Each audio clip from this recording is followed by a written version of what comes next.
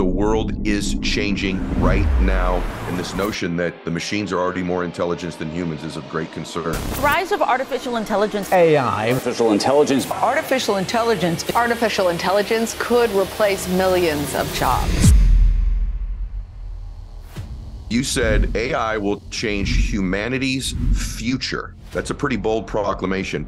Our way of life, as we know it, is game over. I'm not talking future here, I'm talking 2025. Not enough people are aware of this simply because our media may want us to keep our attention focused on other things for now because they themselves have not figured it out. We only had two assets since the beginning of humanity that got us to where we are our intelligence and our ability to connect to each other as humans. And these two, I believe, are going to be the core of the next few years. Intelligence as a superpower is why humanity was on top of the food chain. We need to absolutely make certain that those machines have our best interest in mind. And the problem with our life today is that we are not putting in the effort to make sure they have our best interest in mind. And what do we humans tell them? Go make me more money, influence the mind of other guys and get them to stick to my app. So I am not afraid of the machines. I am afraid of the humans that are directing the machines.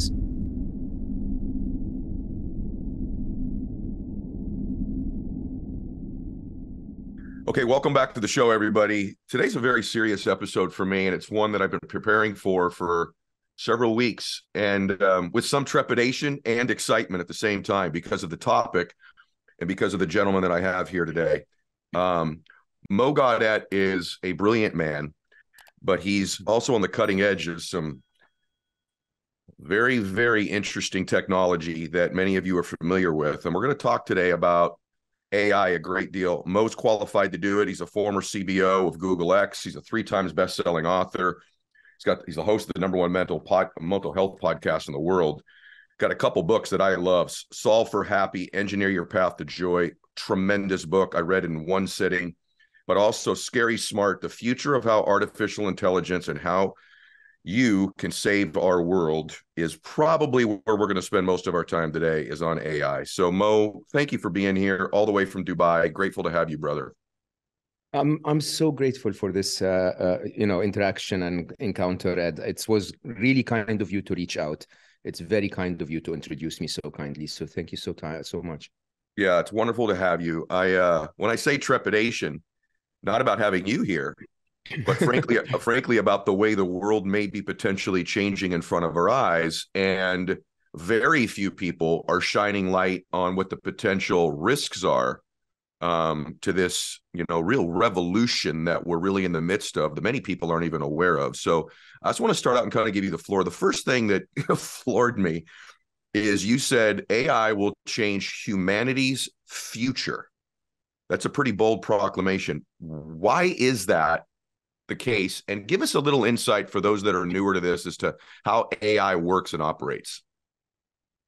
So we we um, just to confirm our way of life as we know it is game over. It's I'm not talking future here. I'm talking 2025, right? So that's not in the very far future. And I think you're absolutely spot on when you say that not enough people are aware of this.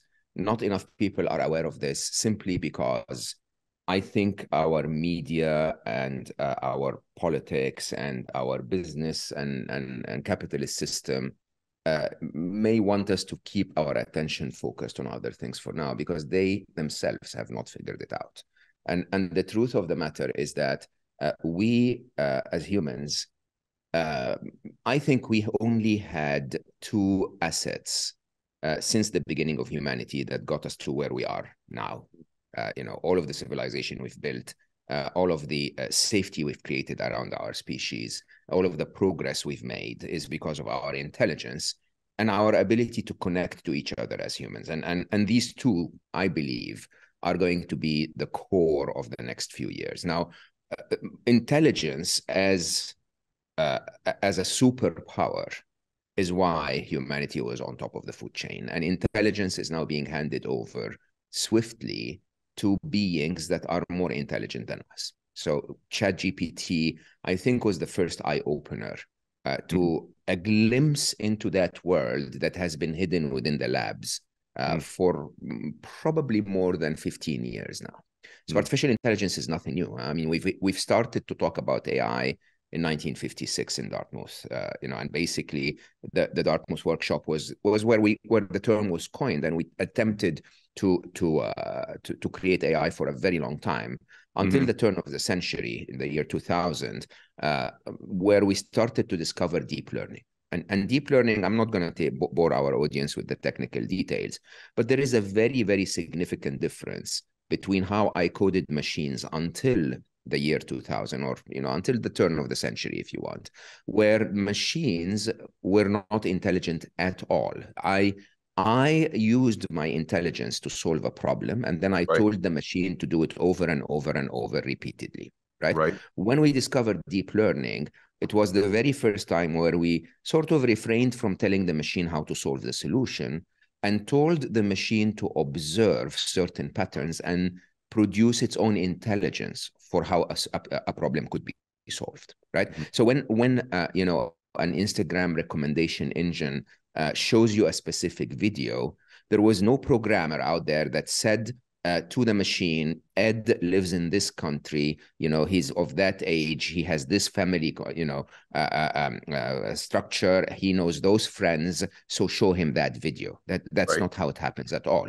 The machine is observing ed's behaviors. It's observing all of the content available to it. It's observing how uh, what is popular what is trending what is you know uh, um, what you click on what you don't click on and eventually telling you see this one. This one is good for you right? Mm-hmm. now when when intelligence is handed over to a, a, a, a, being that is today smarter than most humans on the planet let, let me just be very clear. ChatGPT uh, 4 as as we have it today is estimated to have an iq of 155 einstein is 160 you and i you know and uh, almost everyone if you're intelligent out there you're in the 120s 130s you know, if you're in the 150s, you're one of the very few. And ChatGPT 4 is 10 times more intelligent than 3.5 oh my in God. the in, a, in the frame of six months.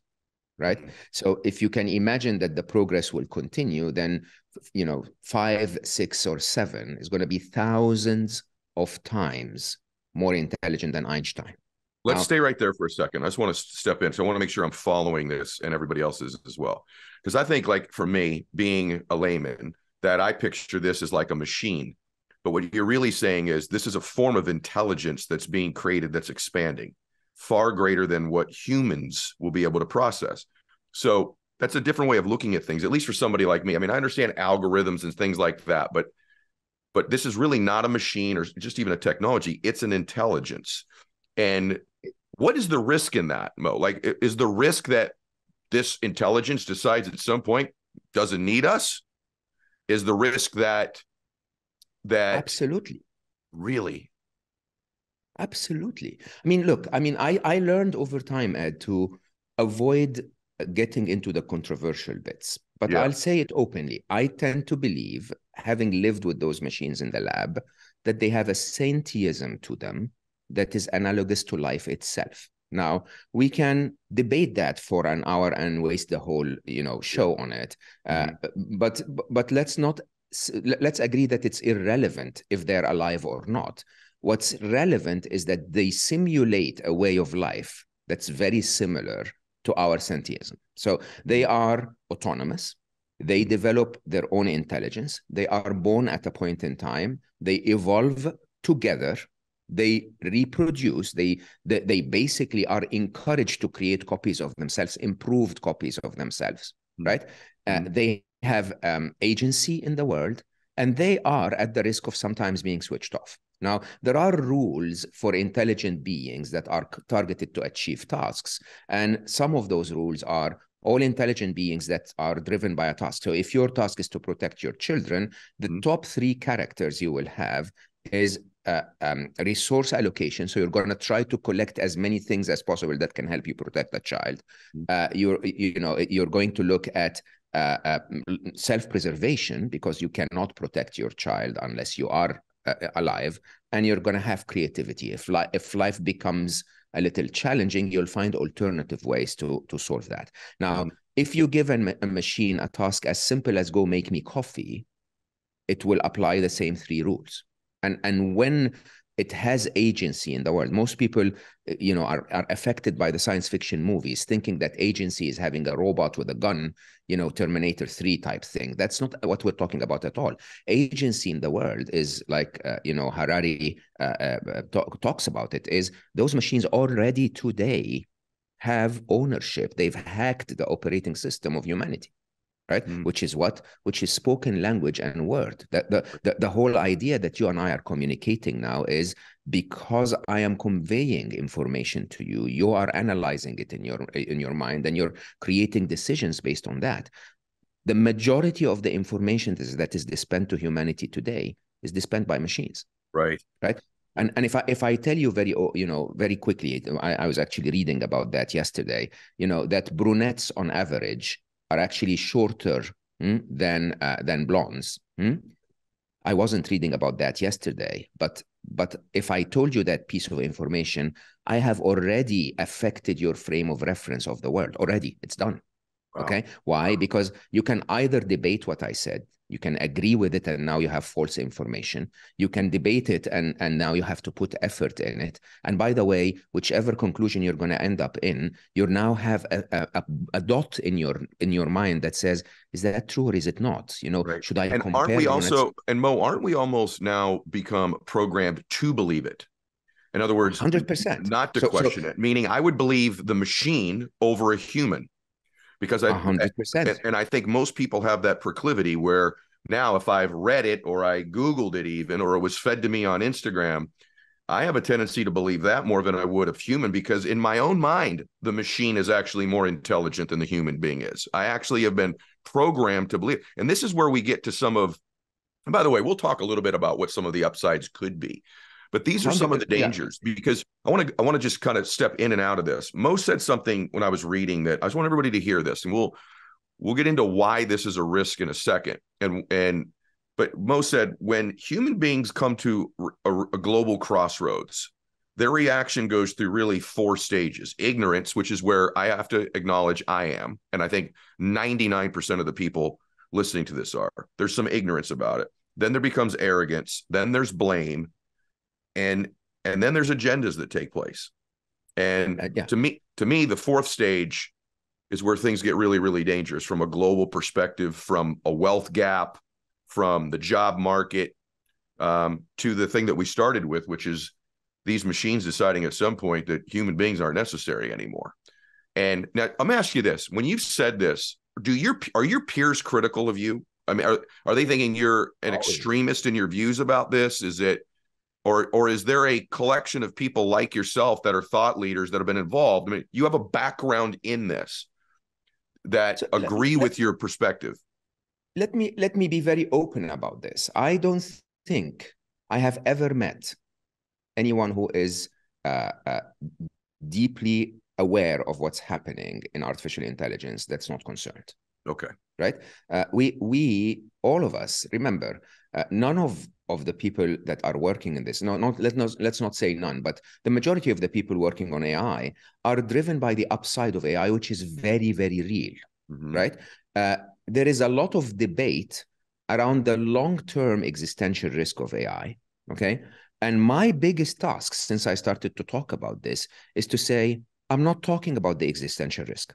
I'm not talking about uh, uh, you know Terminator. I'm not talking about you know the the extinction of humanity on the uh, by the hands of the machines. Let's not talk about that yet. Even though, by the way, I believe there is a probability that this is possible, but I believe that there are many more immediate threats that will shape and reshape the fabric of society in ways that are irreversible and very painful for humanity. Okay, let's talk about a couple of those. Let's let's talk about a couple yeah. of those because I think a few have started already. First off, is this notion of let's start with the the stuff that we know. I mean, this is definitive. Human mm. disconnection of some type. The the disconnect between human beings already the last let's just call it last decade is so much more pronounced, I believe at least, than prior to this technological revolution that we find ourselves in. So yeah. you're saying that this is going to exacerbate that in a, in a in a way that's even more dramatic than we experience right now. And then and then why, Mo? So, so, so, so let me let me list them down. Human disconnection is one of them. Okay. The end of the truth is another. The third that I fear is all the design of job and income and purpose. Right. Uh, the, I I am really concerned about AI in the wrong hands, and I'm really concerned about concentration of power. Now, these are not things that we are talking about 2030, 2040 about, which is where the existential risk resides. These are things that are happening in 2023. Now, let's let's go uh, quickly through them huh? human connection the end of human connection as we know it in, in a very in a very simple uh, form social media has started and uh, uh, uh, becoming the broker between humans so my connection to you uh, if I don't know you in person and I have not sat in front of you as a human before, is always brokered through some kind of social media site or mainstream media site. Right. So they're basically taking what I stand for and representing it to you. And for many of us, we have completely given up on human connection otherwise other than for, for a very very small number. So if you if you remember the dunbar number where, where, where we say we have 150 people that we're able to connect to you can see a shift since this rise of, of social media technology where many of those are now for you virtual people that you meet maybe once or twice a year sometimes not never even meet and they are they occupy a part of your mind so the, for so many people one of their dunbar number is uh, one, one of the 150 people they feel connected to could be kim kardashian and they have never and will never meet the kim kardashian and as a result because they cannot connect to more people they drop a human connection that they could have had in their neighborhood or tribe Yeah, that, that say- they no longer have I want to I want to say something about that. Um, just to acknowledge it and something that I've experienced in my life because I am online and have a social media presence is pretty significant. It is a interesting experience when I meet people actually in person.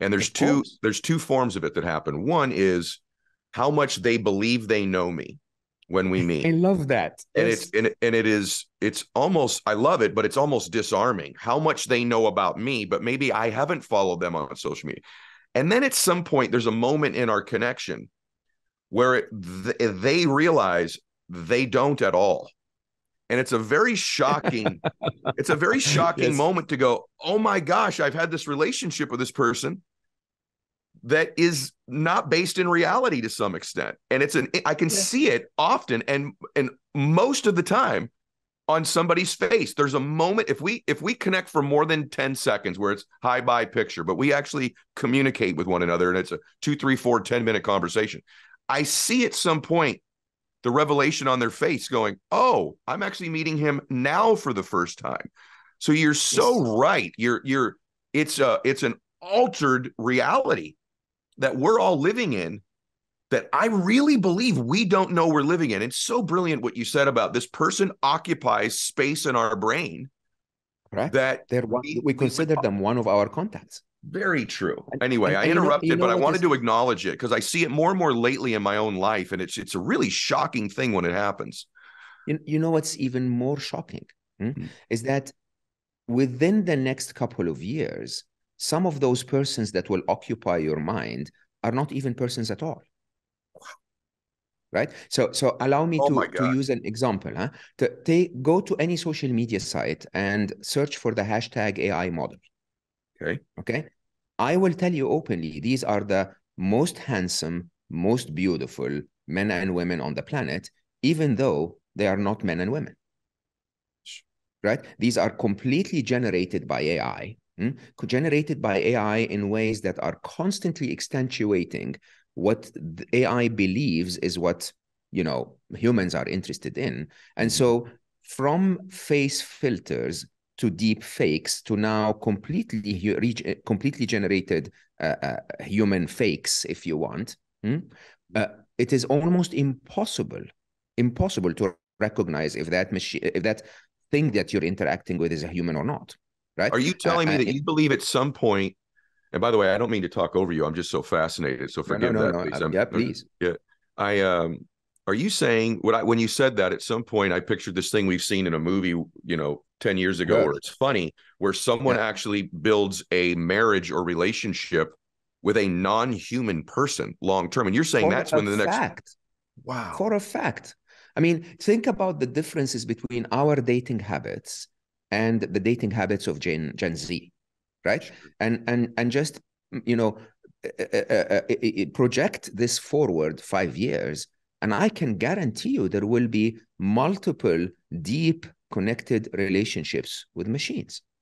Right? And you actually Remember, write about now. This isn't eminent, but you do write about this is this is way out there guys but not that way out there not only would you have an emotional connection with a non-human that you actually might be in a long-term marriage or relationship with somebody would be and i know it sounds crazy but it's not but you actually write about the fact that sexuality as we know it at some point can be altered because of these machine physical sex with a robot that could be it's it's not very hard to imagine i mean think of quest 3 or uh, apple mm-hmm. vision mm-hmm. pro and the quality of the experience you can have within this headset and mm-hmm. think of long dist- distance relationships i mean mm-hmm. i don't know if our audience can relate to this but i travel all the time so mm-hmm. at a point in my life when i attempted to date uh, someone at a you know at a in another country that was introduced to me by a common friend or something we would chat and text and exchange photos and you know connect as as in a very deep connection sometimes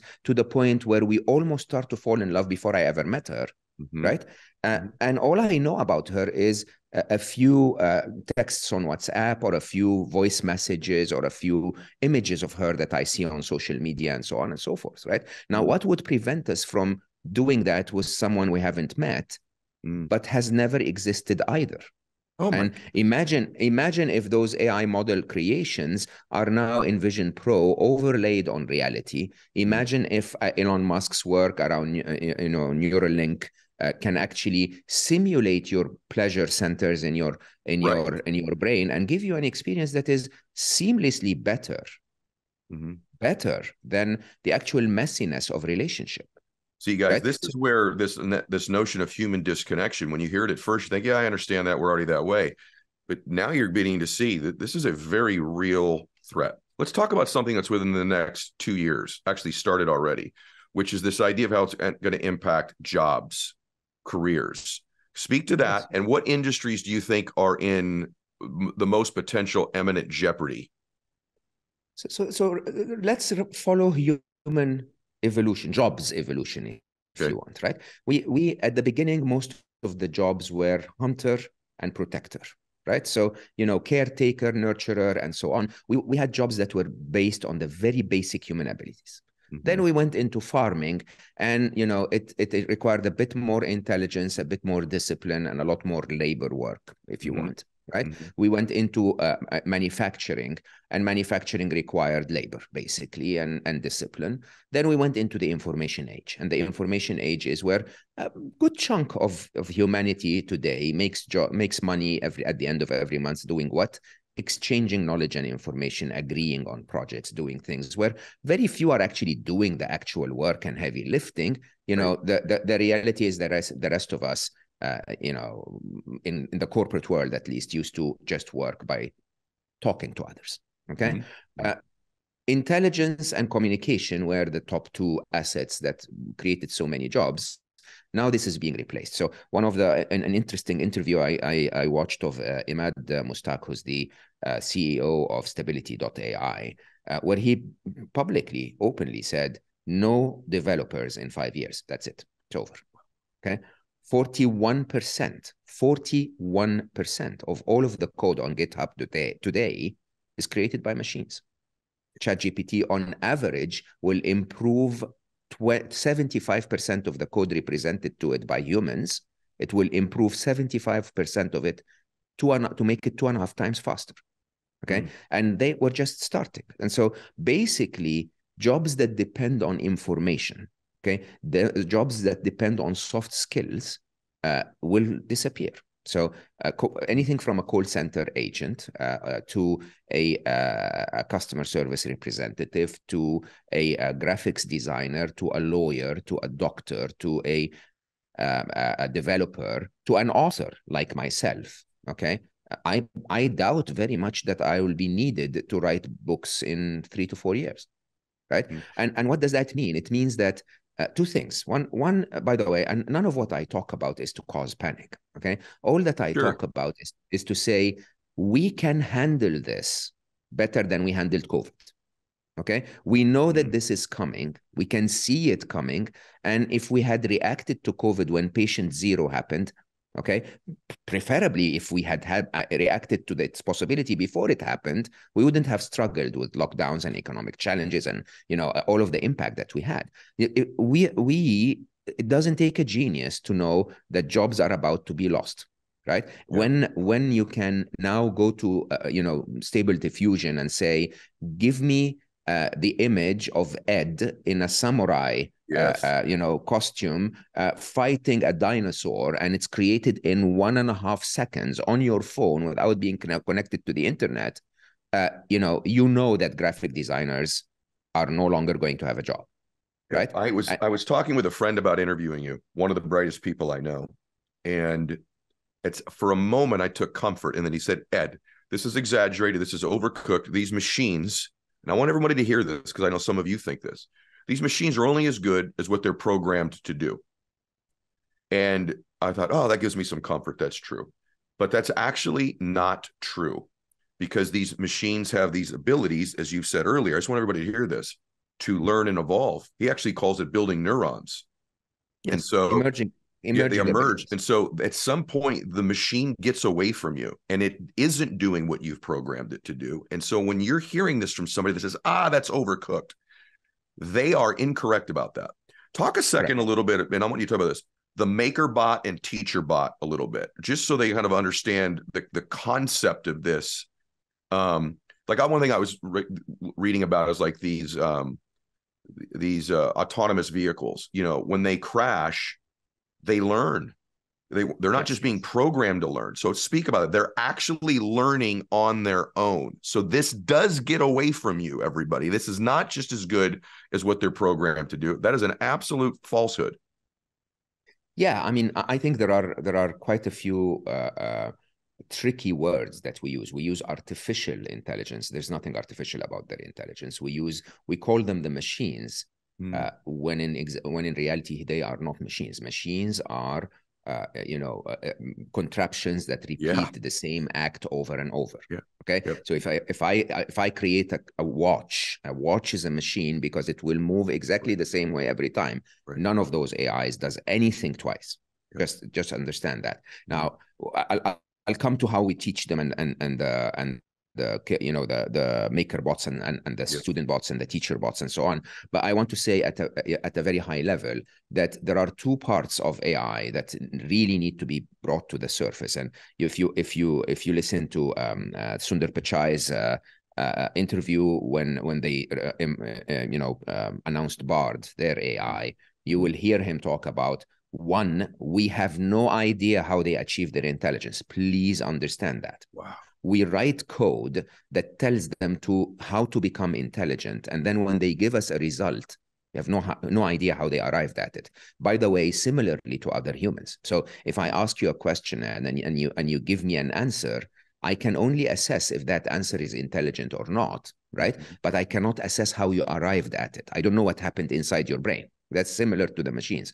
More interestingly and very very important to understand is that they uh, show and demonstrate endless emerging properties. Emerging properties include intuition, include strategic thinking, include uh, creativity uh, that basically and, and include includes knowledge that will blow you away and that we never ask them to do we never programmed them to do it. You know the the the most famous and at least to my or you know closest to my heart where where it was very eye opening for me was what was known as move 37 uh, when alpha uh, alphago master was playing against the world champion of go uh, so the the the AI played a move that yes. was so unexpected yes. that Lee, the world champion, had to ask for a 15 minute recess yes. because he's never seen a move like this before. And move 37 was very, very, very uh, instrumental in the machine winning and becoming the world champion. Now, uh,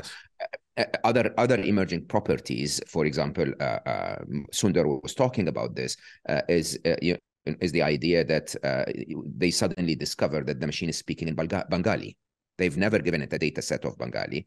Uh, they've never asked it to learn Bengali, and the machine would respond to prompts that are given to it in Bengali. Now, mm-hmm. when you, real- you realize that, once again, I'm not saying those things to make people panic. This is mm-hmm. incredible. Intelligence is an amazing resource. We love it. We love intelligence. Huh? The problem is we need to make sure this was actually the statement by um, Marvin Minsky, one of the grandfathers of AI.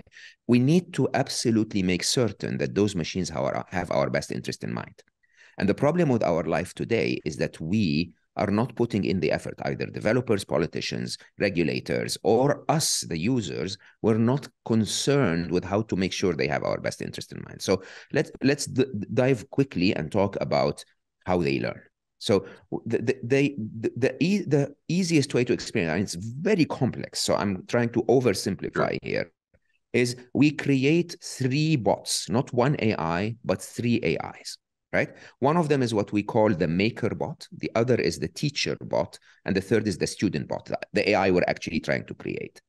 And basically, uh, you know, we, the, the maker bot uh, using algorithms that we start with, will create something that's almost random, a, a piece of code that's almost random that basically says, I'm going to show you numbers, okay, uh, and tell me if it's number eight or not. Simple. Mm-hmm. Okay.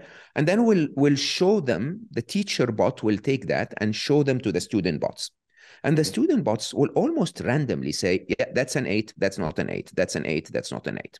Okay random results will make will make that most of the student bots will be around 50% accurate let's say if you show them two numbers because that's the throw of a of a dice really that's probability. And you know and and and some of them will do worse than average and some of them will do better than average okay? The teacher bot will score their results and simply kill the ones that were less than average okay? Send the ones that were better than average to the teacher bot and say rework this, improve the algorithm a little bit so that they become more likely to find the number eight from the number six, let's say. Mm-hmm. Okay. Mm-hmm. And we keep this process uh, almost exactly like we our children did when we gave them puzzles at the beginning. If you if you mm-hmm. remember, if you gave your child a, a cylinder and a board that had yes. multiple shaped uh, uh, holes in it, mm nobody ever told the child hey by the way turn the cylinder on its uh, you know uh, uh, uh to, to, to face you with the cross section. Re- recognize that the cross section is a circle match that to the hole in the board and then put it in. Nobody does that right? Yeah. what we do is we give the child the, the cylinder and the board and the child tries to put it through the star shaped hole. It doesn't work. Then tries again with the square. It doesn't work. And then tries with the uh, uh, circular hole and it works right? When it works, we what do we do? We say, bravo, well done. We reward them. And so they learn their intelligence accordingly. That's the original way we've taught them. The reason why transformers started, which is the T in GPT, if you want, mm-hmm. Hmm, started to accelerate very quickly was, uh, you know, a, a, bit of of very very smart, uh, uh, you know, work that was done by Geoffrey Hinton, was uh, you, you, know, or at least championed by Geoffrey for a very long time, mm-hmm. who left Google recently, warning about, about the existential yeah. risk of AI. Uh, Geoffrey and, and, and a, a small team were basically saying, instead of just killing the bad ones, okay why don't you tell them what they need to change within their approach so that they actually find it as an eight okay? So so you instead of telling them this was wrong keep randomly trying with the new code. You can go back with human feedback and say if if if the machine says if you show it a six and a seven and an eight uh, and an eight and and you know and and on the seven it says this, this is a six you say no no no it is a seven. What can you change within your code to be able to recognize it as a seven next time. So this is known as reinforcement learning with human feedback. This is yep. the absolute most powerful part of uh, of the GPT uh, mm. platform, right? Mm. And and and the and the idea here is that we we humans we can go back to them and say, no, don't do that. Do this, like we like we raise our yes. children, right? Yep. Here is the challenge: which human is doing that? Right. That's right. Right. right. So if you if you take that human, and I say that with a ton of respect, by the way, to mm-hmm. every nationality and every ideology and every mm-hmm. perception of life. Huh? But if you take a simple task as uh, you know um, how to resolve conflict between humans, Okay, uh, uh, you know, uh, in in America, I think mostly it will be patriotic. Okay, Mm-hmm. we are proud to be Americans. Mhm. Uh, we will be strong, and we will make sure that we can defend our country. Yeah. Right. If that defense at any point in time requires that we interact with others in a war or a you know a bit of a violent conflict, we we're prepared to do that to, to to defend our tribe. Take that same concept and say there is a conflict in Tibet or in Dharamsala where where you know uh, the, the the Tibetan Buddhists uh, reside and tell them what do we do about that they'll say my tribe if every is everything that's ever lived including the ants and the and the and the flies and I'm never going to kill anything that's not going to be my way of resolving con- conflict Okay, Now, I have to tell you, you've hit on my number one concern about AI right here. And, it I- is, and it let me- is let the what it's, It's the only number one. concern I have because people have said to me, and I know you'll say that they can. People have said to me, "Well, can you teach AI ethics?" I think you'll say potentially yes, you could. The question then becomes whose, exactly whose, exactly and that's when this this is this is the part where I said it's given me trepidation. You've you've you we've come to that inflection point for me, which is probably can teach it ethics. There's probably a way to program that. The question is whose, and even if you and did, what what is ethics Correct. That's what I- that's what I'm suggesting. How should things be resolved? What is what is an ethical, honest, moral path? Whose morals? Who that? Whose ethics? Is this influenced by religion? Is it influenced by power? And and then from a global perspective, what's to say that the world comes to a consensus to some extent, like they might even on global warming, but then you've got a rogue polluter like China. And what would what could China do with the technology like this? So this is why you know the job loss the wealth gap these are very obvious things and i think human beings are pretty innovative and can find a way to conform potentially. It's a scary thing it's a threat but in my own opinion there's probably a way that we find a way to get people functioning in an economy that's just changed. We've done it before we probably do it again We- this part need right to, here We need to start working on it. So I'm with you hundred percent. Yeah. But we Yeah. need to put it in the spotlight uh, light and start working on it. Yeah. This but- but part right here- question- this part right here though what what would your reply to be to what i just said because it's my deepest concern about this So I, I publicly said several times that I am absolutely not afraid of the machines.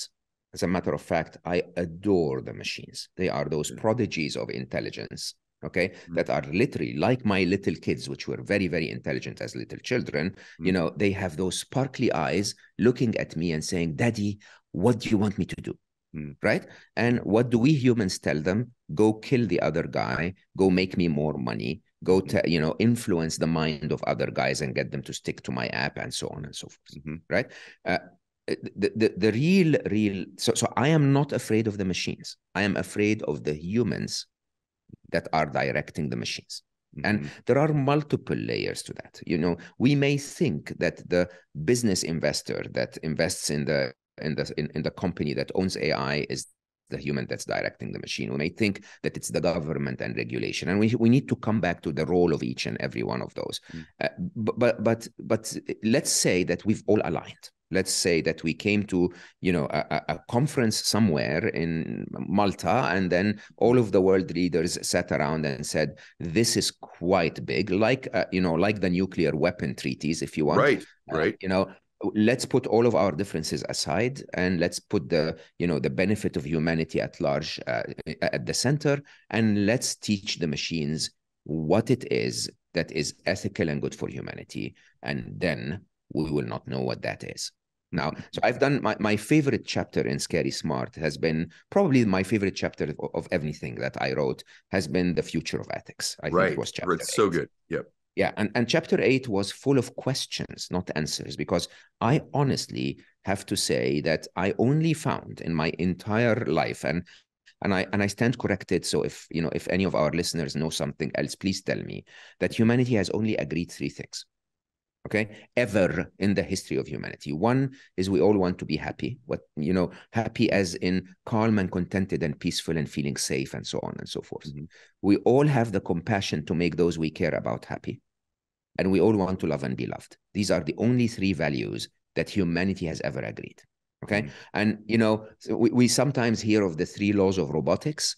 I normally say these are the, the three ethics of the future. If we can actually start to have our actions stem from that not stem from I want to be wealthy or I want to beat the other guy, or I want to be seen this way, or I want to be uh, proven right, or I want to show that I'm the smarter one, which happens on on the internet all the time.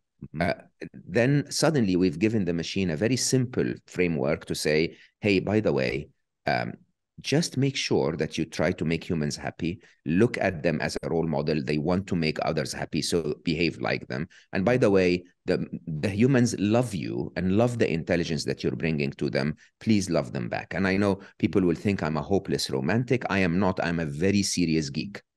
Okay? And i will tell you those machines will develop emotions. They've already developed emotions. We've already seen them behave emotionally Okay? okay? and and and they will develop ethics and we've already seen them break their ethical code now here is the trick ed the trick is wait did you say mo that they break their ethical code of course there has been that article uh, about uh, uh, ChatGPT uh, uh, using uh, outsourced people uh, in um, okay.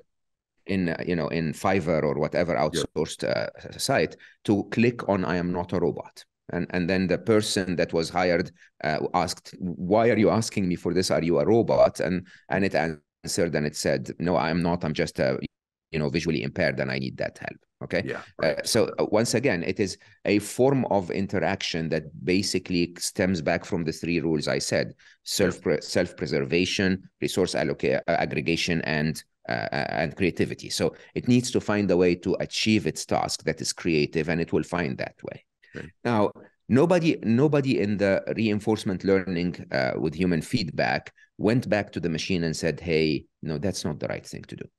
Right? Mm-hmm. It's you know ma- many many people uh, you know cheered for it in, in on the internet and said how intelligent is that but none of us is focused on ethics none of us is going back to that machine and saying no but that's not ethical so when i started to talk about the ethics of ai and and it's my biggest reason I'm on this planet today. I wake up every morning and I say, if we were to save our future, we mm-hmm. need the machines to be, uh, I call it EEQ, right? So ethical, uh, uh, uh, emotional intelligence.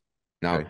remember that one of the biggest challenges with AI is that AI so far has been mapped to the masculine IQ, okay. IQ. It's on, only analytical intelligence. And we know for a fact that there are multiple other forms of intelligence, EQ, Sure. For example, emotional intelligence, intuition, mm-hmm. creativity, uh, uh, you know, so many others, huh? Uh, uh, uh and and and and we have not even included that in our uh, um, in our approach to, to to to developing AI so far. And accordingly, what you see is what you would you would see that AI will take whatever biases human ha- humans have and and and exaggerate them. So mm-hmm. we now exaggerate our uh, discrimination unfortunately. If you put ai as a recruiting uh, uh, uh, support uh, you know in an organization that doesn't have proper representation of all uh, genders you will see that whatever biases within the organization will be ex- exaggerated and so on.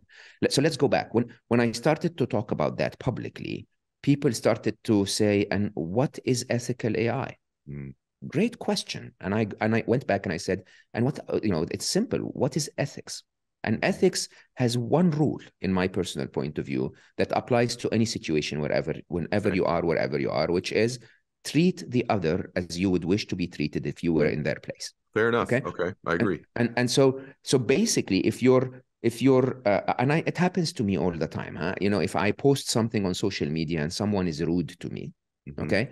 Normally, what do we do as humans? We you know uh, um, thrash them back right? Swing back. I don't. Sure. I don't. I, I look at his comment or her comment and I say they must have a reason. One, they could be right and I'm wrong.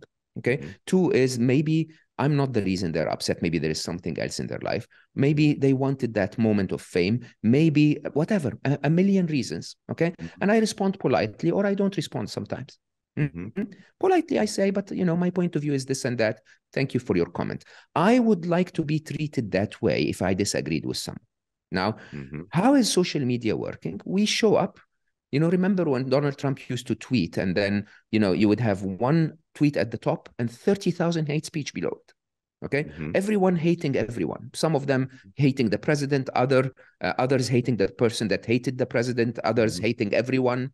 Right? Mhm. and i'm you know of course the machine is detecting patterns. They say okay this first one doesn't like the president. Let's not show them tweets about the president anymore okay?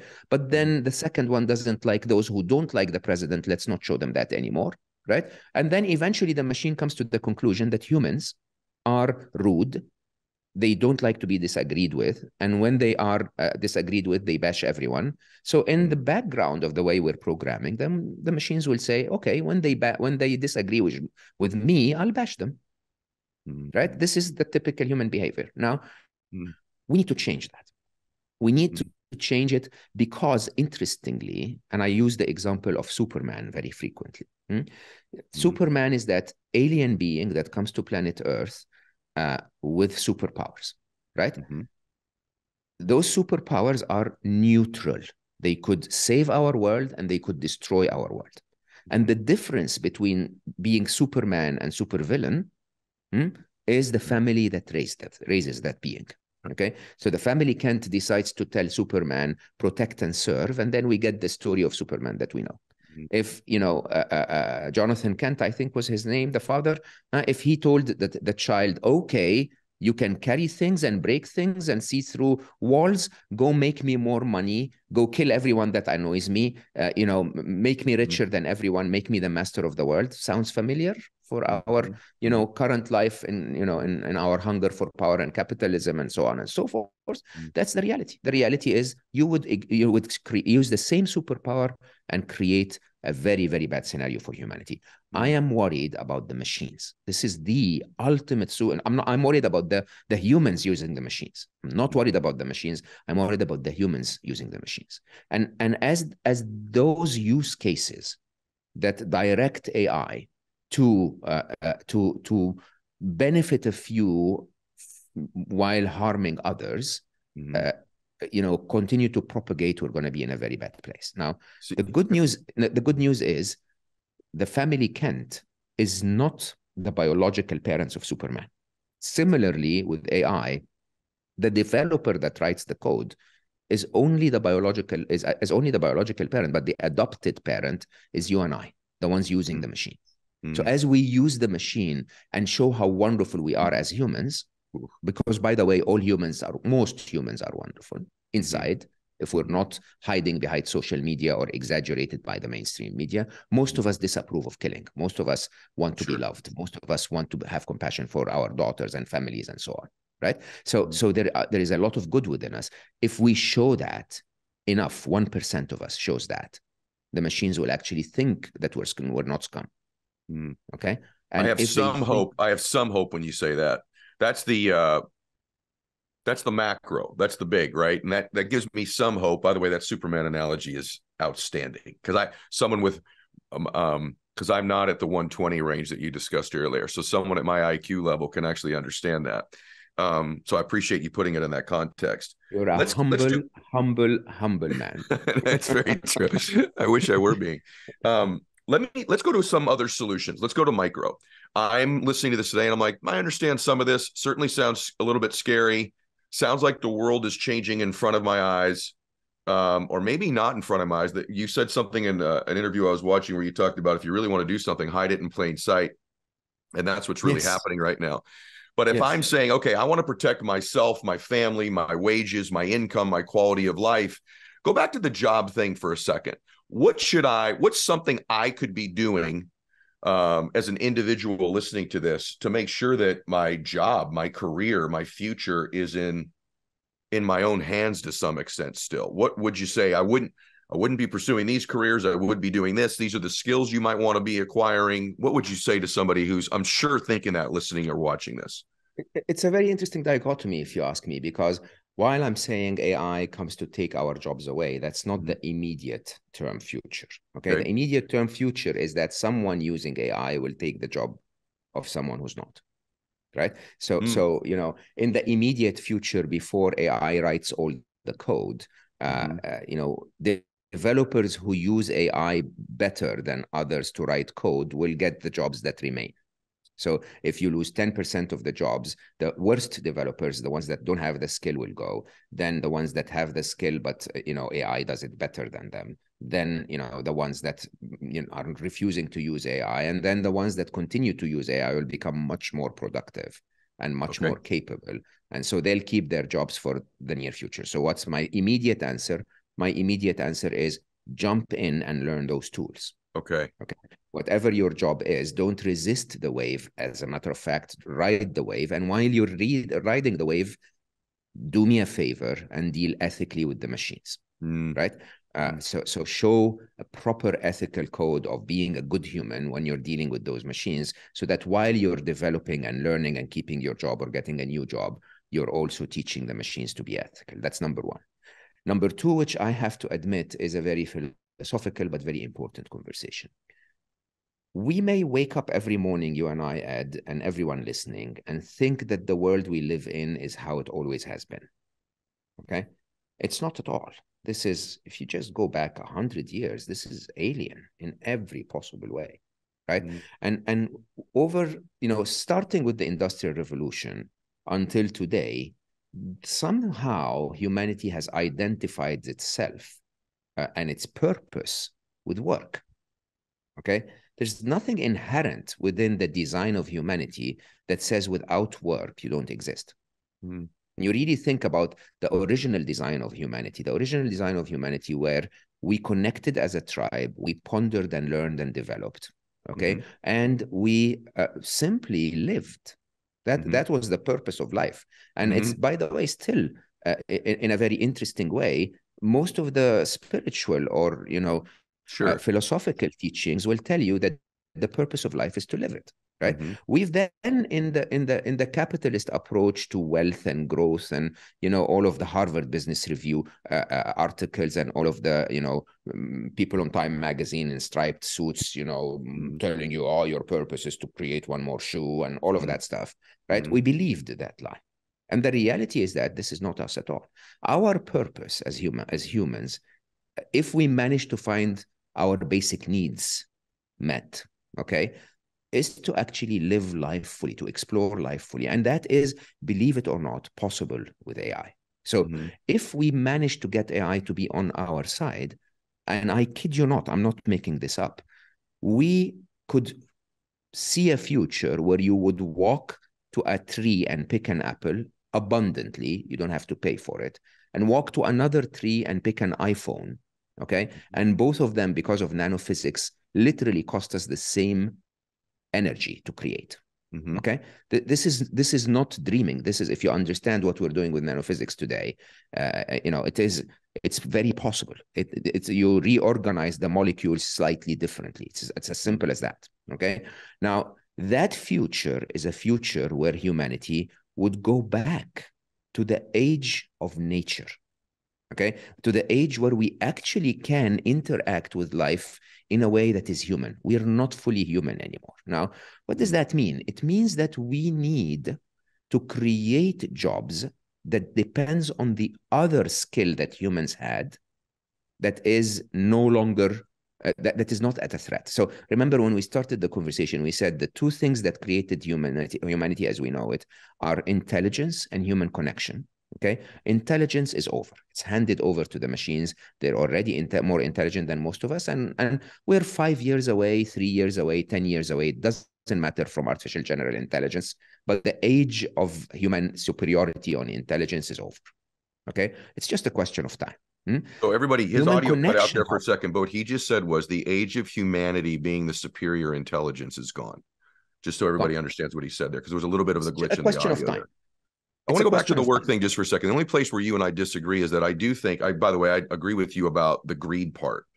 But I also do feel that work that in in and I know we've attached value to work, but I also like for somebody like myself and for somebody like you, my work is my way of expression and I don't want humans to lose their ability to express. Part of my living is expressing myself. Part of my work is creating uh, the expansion of my being, serving other people. And so I know what you mean when you said that. I just want to make sure that, you know, that I, that world you describe, I think, is beautiful. I think people's work has created medications that keep us alive longer, that allow us to connect with one another better, that So I understand what you mean when you say that. Um, but the interesting side of this, Ed, is that it you would get the same joy out of it if it wasn't work. Yeah, I think that I think that probably for me, I don't view it as work. Correct. Um, but I know what you mean when you say it. Like for me, I don't feel like you and I are working right now.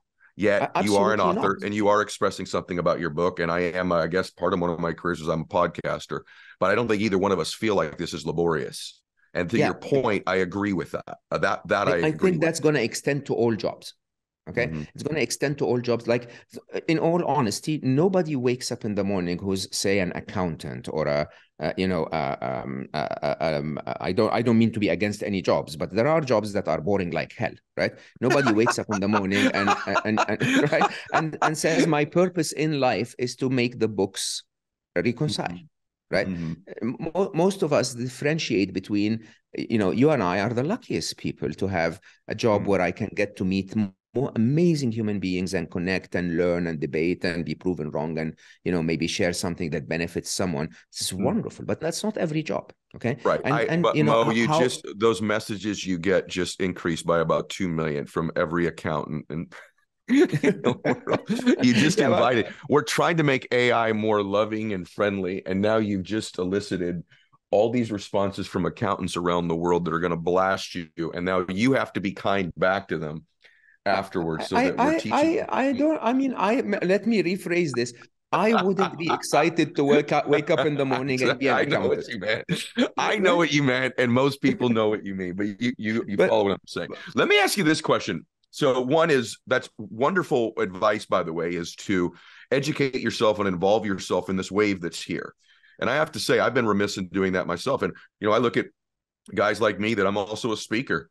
I've watched speeches of me already that are better than me speaking already. I've seen this. I've listened to music that sounds like Drake that quite frankly sounds better than Drake. And so Correct. I'm wondering, I'm wondering what it's going to do to the world. I'm also somewhat, I'm very concerned about the ethical part. It's interesting that of your diverse background at Google and all the things you've been doing in robotics all your life and all these other things, and me having none of those backgrounds, we both arrived with your infinite knowledge about this and mine limited at the same exact conclusion about our concern. I am concerned about jobs. I'm concerned about the wealth gap. But from a macro, from a bigger perspective, it's interesting as you step back, everybody, and you're listening to this and you're listening to this brilliant man, you know, really shine light on something that's right here hiding in plain sight, as he says I want to ask you this, Mo, it's been on my mind the last few weeks as I asked you to come on the show, as I became familiar with you. Why isn't this the number one story in the world? Why isn't this on the news? I don't care if you're right media or left media. Why isn't this in the mainstream? This isn't even news on most um, uh, social media media any anywhere other than you and a few other people. And my only conclusion I can come up with is this technology does allow a again a, a, smaller collection a bigger collection of power for the powerful.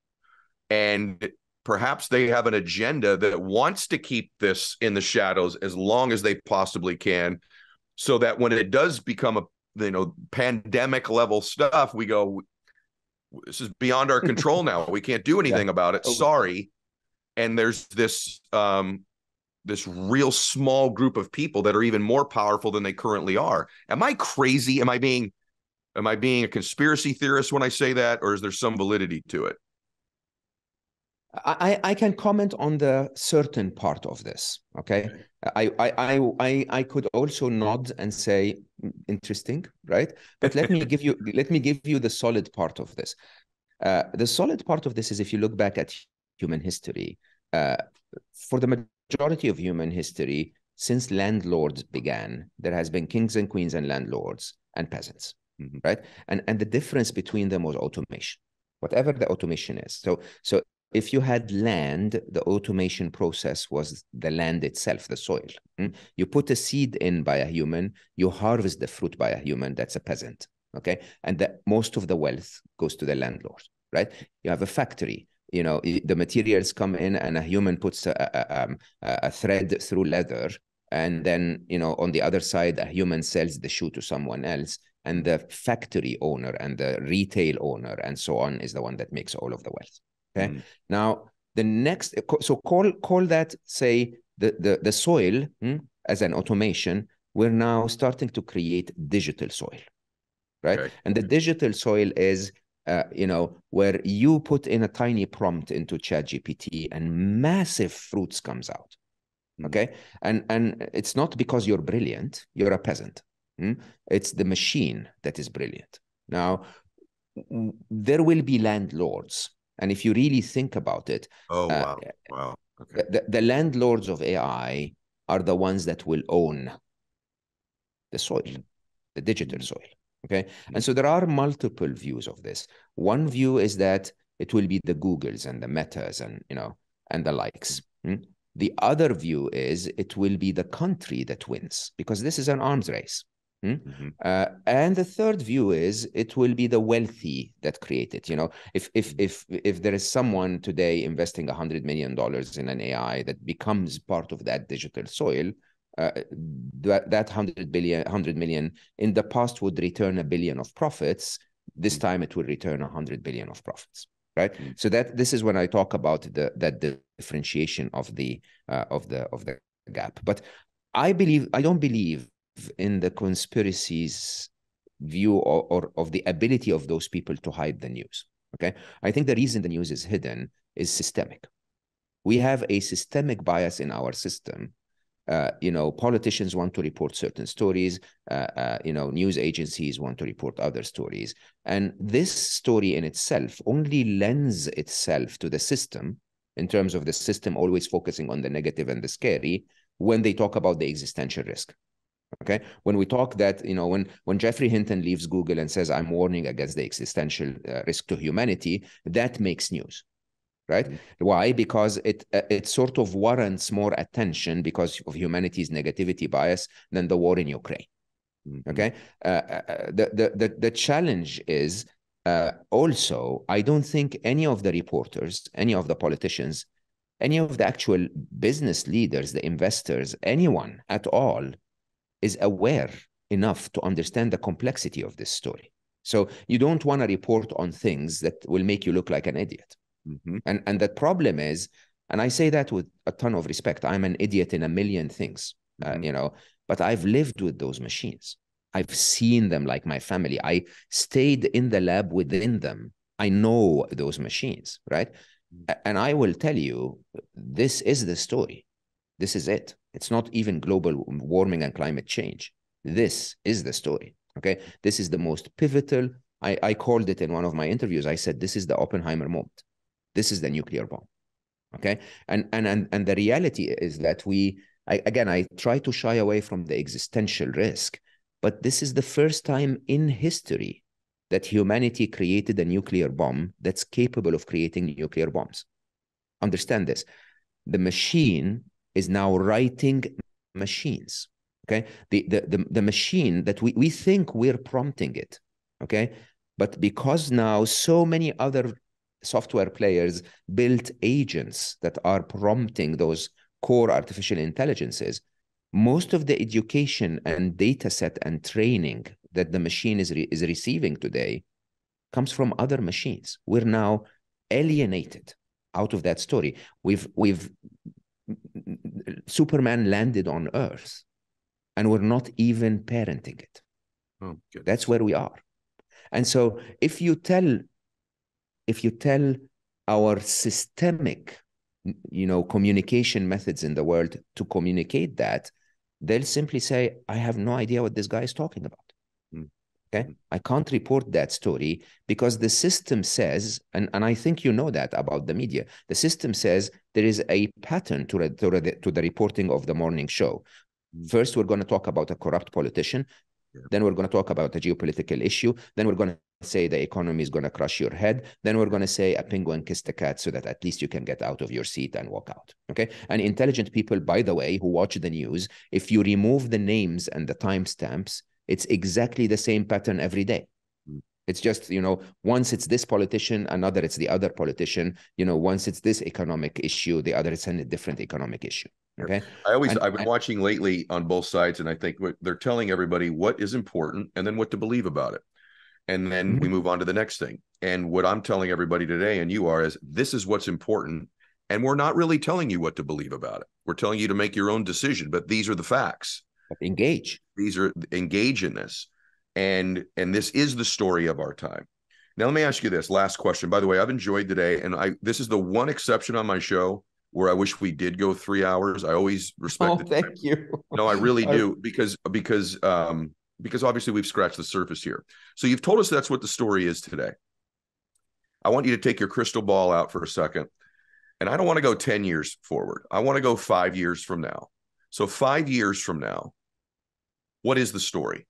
What does the world look like? And I and I don't mean what you hope it to be because I heard a lot of hope in there when we went to the ethics part of how these machines are going to work. And and I also saw you wink at me when I asked you if there was a conglomeration of power coming.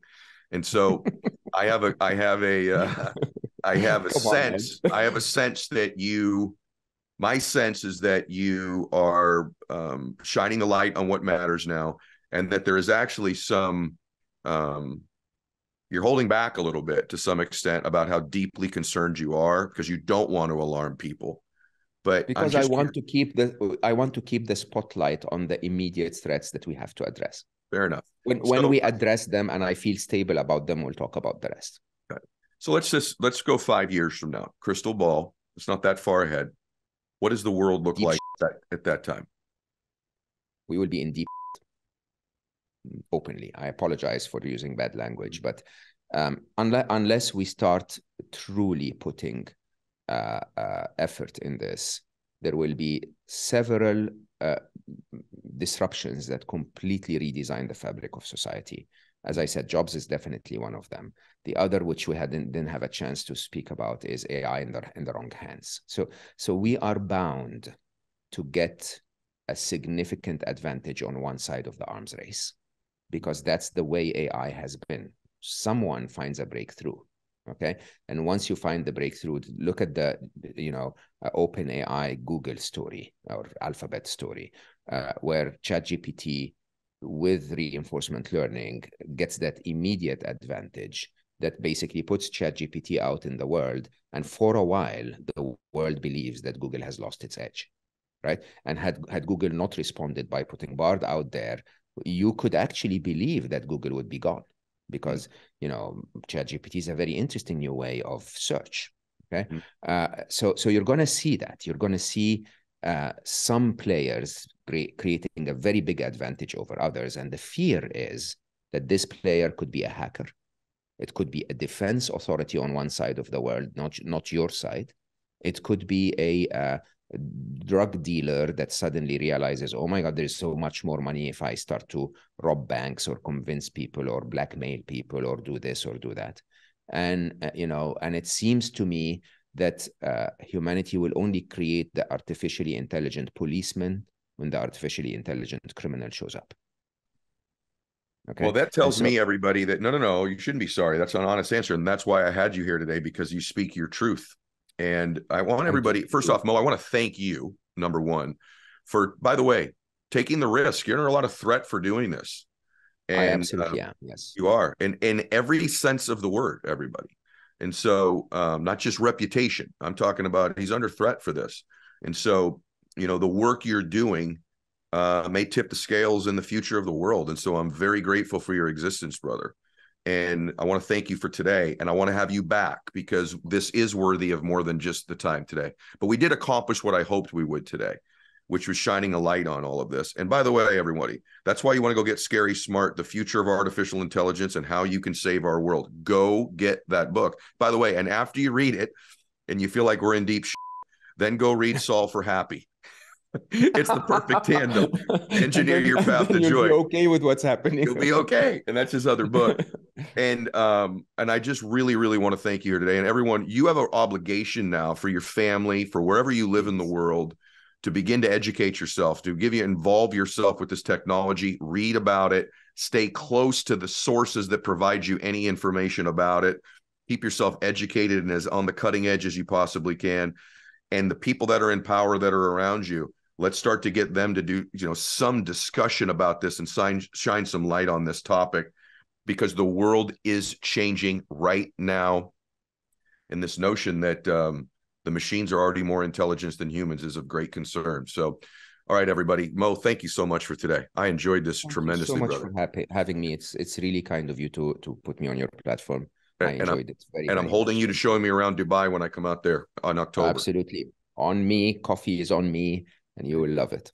I love it, brother. All right. God bless you. Everybody, God bless everybody else here. Max out your life. Share this episode. If you've ever going to share one, it's this one. Share it, everybody. Take care.